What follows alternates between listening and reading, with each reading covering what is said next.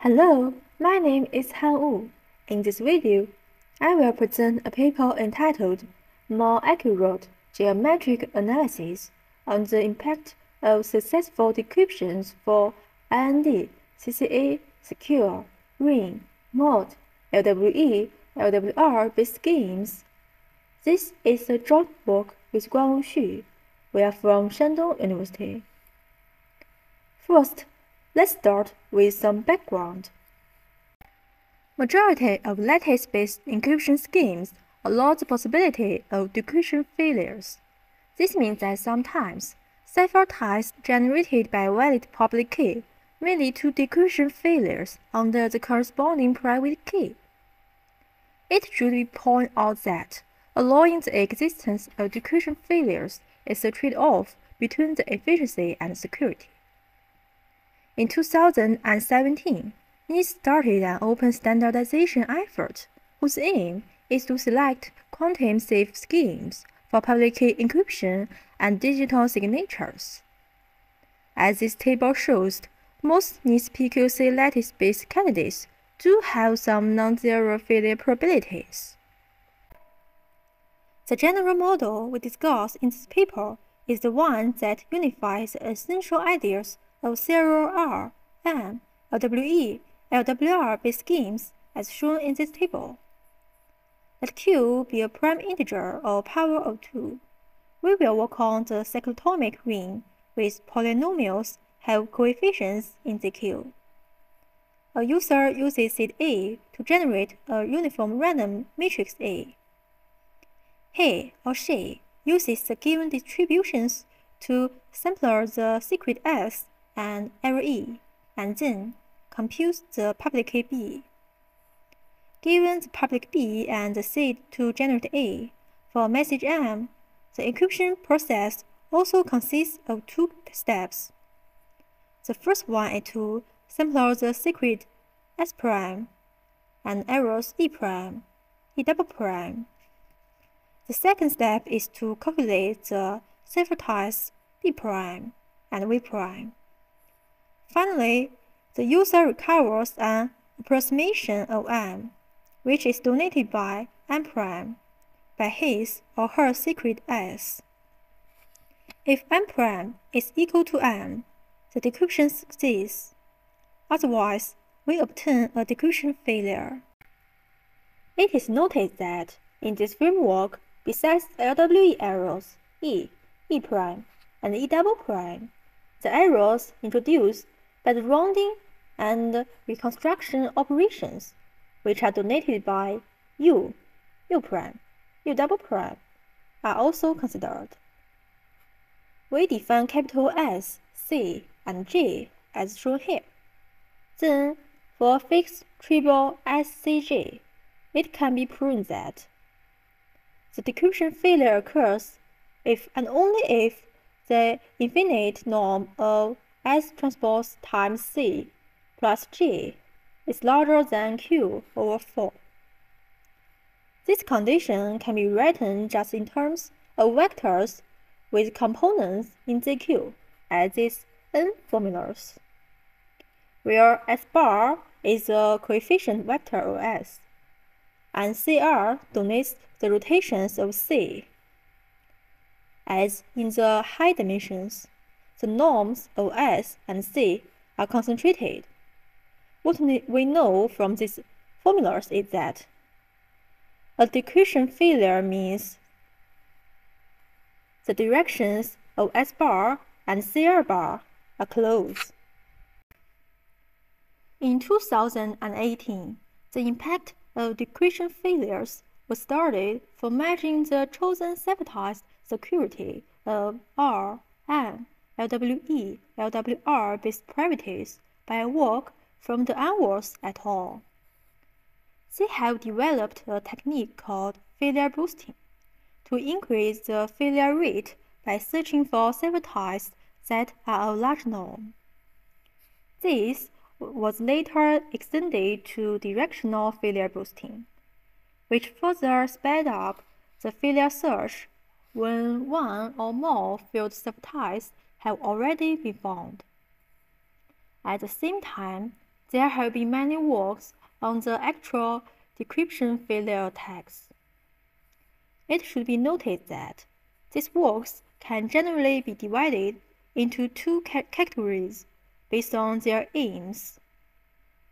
The first one is to answer the question that how to use the obtained decryption failures to speed up failure boosting. In other words, how to use failures to find more failures.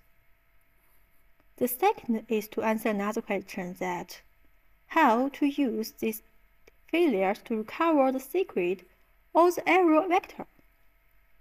As you can see, these works generally focus on the cases after one or more decryption failures have been found. However, there is no way to predict the success or the failure of the decryption besides the length of the ciphertext itself before finding the first decryption failure. In 2020, Bindel and Schanck considered the problem from a new angle by arguing that for an imperfectly correct lattice-based public key encryption scheme, information about the private key can be leaked even when the answers for decryption queries are successful. In other words, they use the information from successful decryptions to speed up failure boosting. They show the fact that a successful decryption implies the secret stays away from certain spherical caps about C. The definition of spherical cap is given here. Let SD be the unit hypersphere in the d-dimensional space Rd. For any u belongs to SD, the spherical cap of angle theta about u is c du theta as here. We assume that the attacker only uses C that satisfies the norm of C is larger than the expectation, and he or she just deal with the set of S such that the norm of S is larger than the expectation. We rearrange the process of obtaining information about S from the successful decryptions. A minor error has been fixed. As can be seen, the success of query C means that S double bar not belongs to two caps of angle theta star about the rotations of C, where S double bar means the normalization of the coefficient vector of S. Then, the probability of theta r is smaller than theta star can be measured by the Euler surface measure on S2kn minus 1. And this probability will be regarded as a proportion of keys that can be excluded by a single cap. However, what exactly is it? Considering the overlaps among caps, how to calculate the keys that can be excluded by multiple caps?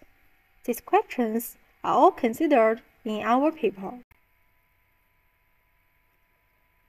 By the results in a paper from Li, we give an accurate mathematical characterization of this proportion by the so-called incomplete beta function i. It is noticed that this function can be effectively calculated using software such as MATLAB. It is easy to see that the two positive and negative spherical caps about the same rotation of C are disjoint. However, caps about different rotations may intersect with each other. So, the proportion of key candidates that can be excluded by a successful decryption belongs to this range. And the proportion of key candidates that can be excluded by m successful decryptions belongs to this range. Due to the lack of the characterization of overlaps, the lower bound cannot be multiplied by m. Hence, a rough estimation is given in Proposition 1 of our paper. Suppose that an adversary has made some successful queries to the decryption oracle. Then, the proportion of key candidates that can be excluded is at least this value. Now, you can see the importance of characterizing overlaps. If the attacker can limit the ciphertext he or she uses so that the caps do not intersect with each other, this value can be increased to the current one times m. So, we give the equivalent conditions of the disjointness of two caps, including the angle, distance, and inner product conditions in Theorem 2. It gives strategies for selecting completely disjoint spherical caps. The adversary can choose one of these conditions to check the disjointness. As the overlaps become smaller, the failure probability of the next query is also higher. However, sometimes it may be impractical to choose completely non-overlapping queries for reasons such as efficiency. Therefore, the situation where those caps intersect is of interest. Hence, our third contribution is that we give an accurate formula to calculate the surface area of the intersecting part of two caps by the results in a paper from Li et al. We already know from Theorem 2 that the angle is an important indicator for overlaps. If theta 1 2 is larger than 2 theta star, the two caps are disjoint as the surface area of the intersecting part is zero. Well, if theta 1 2 is larger than theta star, and smaller than 2 theta star. These two formulas can be used to measure their overlap. The two cases considered here are the ones for actual schemes. The results can be generalized to the case where theta 1 2 is smaller than theta star by the results in Li's paper. From this proposition, we get an efficient way of calculating the total proportion of the key candidates inside two intersecting caps by this relationship. Because of the tediums of calculating the angles between each pair of queries one by one, an estimation of the range of theta 1 2 in the actual schemes is needed. Since we are considering the CC setting, where queries are the results of hash function calls. We can view each query C as a uniform random point on SD after normalization. Then, the angle between two queries can be regarded as an angle in random packing on the sphere. To proceed further, we need some technical argument on this kind of random angles. The dimension of R, M, LWE LWR-based public key encryption schemes is usually very high. There is a folklore conjecture that random vectors in high-dimensional spaces are almost nearly orthogonal. This is often referred to as the orthogonality hypothesis. Recently, Cai et al. presented a precise formulation and gave the proof of it. By their results, we gave a statistical estimation of the range of theta 1 2 in the actual schemes as can be seen in Theorem 3 of our paper. Let C1, C2 be two points on SD. They can also be regarded as two queries by the attacker. For security parameter m, the probability that pi over 2 and theta 1 2 differ within epsilon m is no less than 1 minus 1 over 2 to the m, where epsilon m can be calculated using this formula. Let's make a conclusion. For an actual scheme, the range of angles among different queries can be calculated according to theorem 3. We can give its theta star and epsilon m based on its parameters. Then, we make a comparison between theta star and theta 1 2 to determine the intersection of different caps. Other conditions in theorem 2 can also be used. Then, if theta 1 2 is larger than 2 theta star, caps about different queries will be disjoint with an overwhelming probability. We can use proposition 1 to calculate the proportion of the surface area of each cap. Multiply that by the number of caps. The proportion of excluded k candidates can be obtained with some probability. On the other hand, if theta 1 2 is larger than theta star and smaller than 2 theta star, we also need to use proposition 3 to calculate the proportion of the surface area of the intersection. Suppose that the attacker is making m queries. We only consider one cap for each query, which is denoted by calligraphic letter C, I.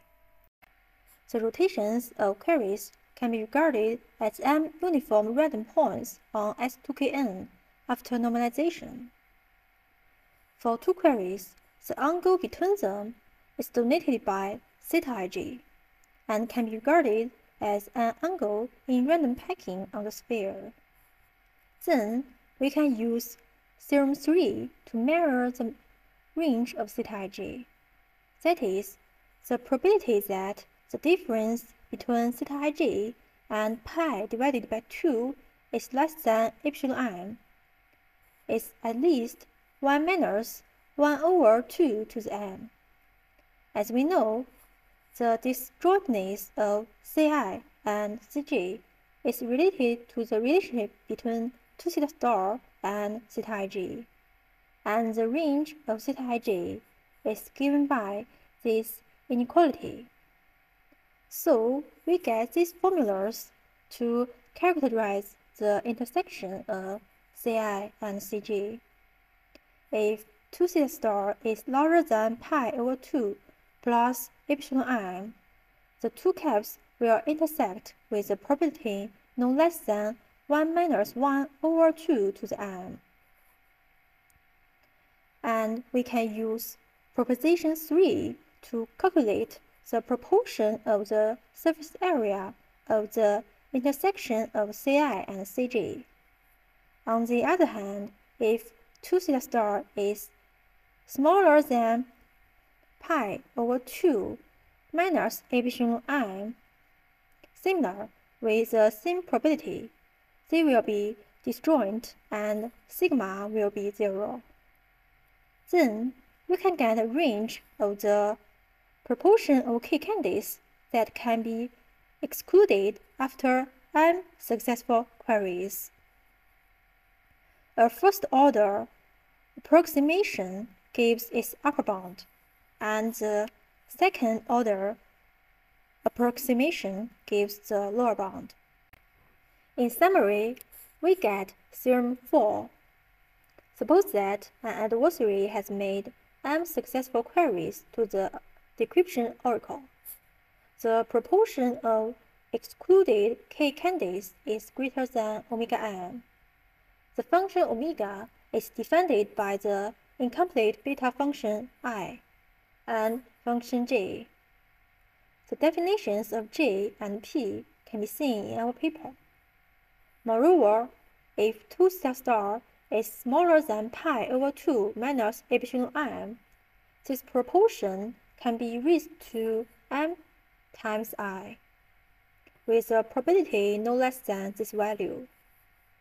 To make sure this value is a constant, using the limit formula of E, we can take m to be this value.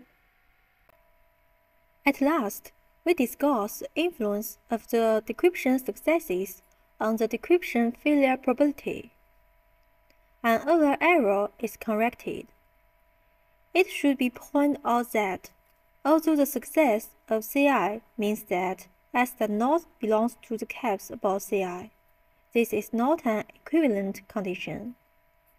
Therefore, we can only get the conclusion that the failure probability of Ci, which is denoted by PFI, is greater than sigma Ci, but cannot consider them equal.